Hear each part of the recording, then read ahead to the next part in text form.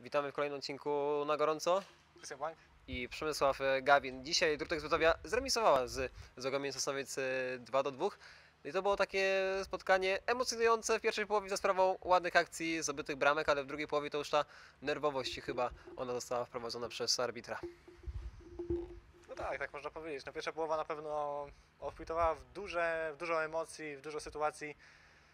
E, No i po prostu ciekawie się ją oglądało. Druga część, no tak jak mówisz, no e, trochę ner- nerwowości przez e, arbitra wprowadzone. No nie do końca bym się ze wszystkimi decyzjami arbitra zgodził, no ale takie arbiter podjął decyzje, a nie inne. No i trzeba się z nimi pogodzić. Natomiast no też w drugiej części spotkania, od, od momentu, kiedy z boiska wyleciał Kamil Wacławczyk, też trochę ta gra do tego zbytowi już no, nie wyglądała tak, z racji tego, że, że grali w To raczej dziesiątkę. dziwić nie może. No tak, z racji tego, że grali w dziesiątkę, no to już nie wyglądała tak dobrze jak e, przed przerwą. E, Nieco bardziej do głosu w drugiej części spotkania doszło Zagłębie i to ono bardziej naciskało na Drutek Zbytowie, no ale na całe szczęście dla Drutek Zbytowi no nie udało się im zdobyć tej bramki, która dałaby im e, zwycięstwo, chociaż w kilku sytuacjach byli naprawdę bardzo, bardzo blisko tego, żeby, żeby to zrobić. Martwią po raz kolejny błędy w defensywie, bo dwie bramki stracone niemal w identyczny sposób. Wrzesiński, zagranie do Lewickiego i ten dwa razy główką pokonuje Andrzeja Witana. To może martwić trenera Adriana Sawskiego, bo, bo szuka, szuka tych e, rozwiązań, ale ciągle tego najlepszego chyba znaleźć po prostu nie może, jeśli chodzi o ustawienie właśnie w obronie.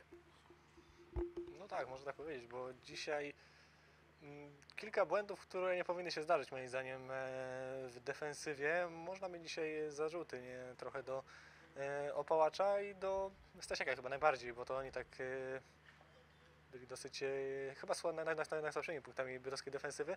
Poza, Ale- poza bra- bramką, to prawda, e, Marka Opałacza. No właśnie, e, Opałacz e, rozegrał słaby mecz w defensywie, ale zdobył bramkę. Natomiast e, pewnym punktem dzisiejszej defensywy był, obrony dzisiejszej był Andrzej Witan, golkiper, który w kilku sytuacjach naprawdę wykazał się sporą pewnością i takim spokojem, czego momentami brakowało właśnie tej dwójce, czyli Stasiokowi i- Opałaczowi w niektórych sytuacjach, kiedy trochę jakby zbyt nerwowo się zachowywali.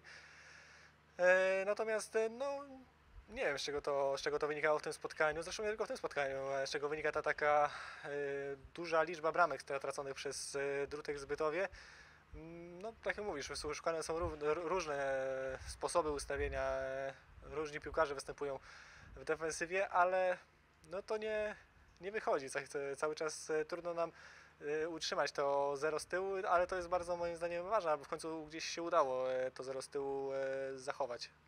Powrócił Janusz Surdykowski, chyba powróciła gra ofensywna, gra sklepki. Zespół czuje się lepiej, kiedy na boisku jest Janusz Surdykowski, to było widać dzisiaj i też tak bramka na 2 do 1 zdobyta przez Drutek Zutawie, to, to palce liza Śrensacki mówi, że, że Barcelona by się nie powstydziła i chyba no nie ma w tym przesady. No tak, to już nie pierwsza taka sytuacja, kiedy Drutek Zbytowia tak, e, w tak ładny sposób zdobywa e, bramkę, bo też z Górnikiem Łęczna też tak ładną e, bramkę zdobyli po bardzo długiej wtedy akcji. Dzisiaj też, Z Pogonią Sielce też. tak, także no na pewno były to, Druga potrafi konstruować takie pozycyjne ataki, dużo razy wymieniać piłkę, dużo podań.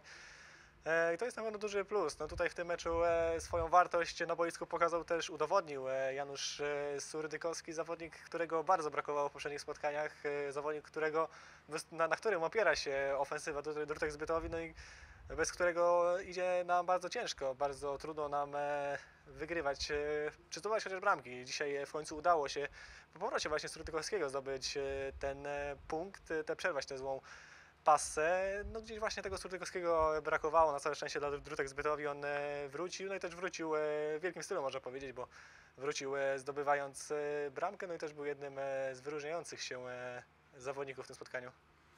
Po trzech porażkach przychodzi remis, czyli już cztery mecze bez, bez zwycięstwa.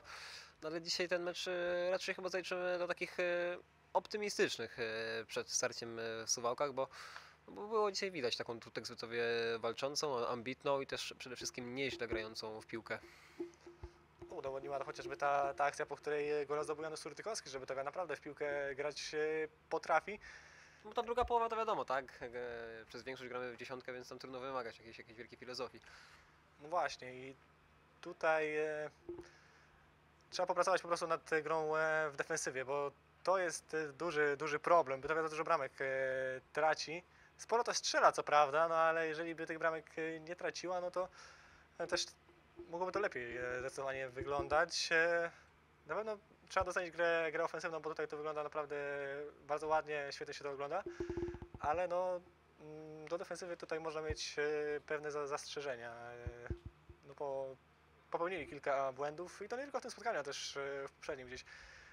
Przez czasami brakowało koncentracji i to na pewno na minus dla obrońców, ale na plus dla defensywy są chociażby takie akcje, jak, jakie dzisiaj oglądaliśmy też. Dzisiaj e, sporym, e, spory plus bym dał e, Sławomirowi Dudzie, który naprawdę z bardzo dobrej strony się pokazywał, naprawdę e, w kilku akcjach e, bardzo dobrze też przerywał e, e, ataki e, rywala i też e, jego dośrodkowanie. Bardzo dobrze dzisiaj moim zdaniem zastąpił Sebastiana Kamińskiego jako wykonawca stałych fragmentów gry.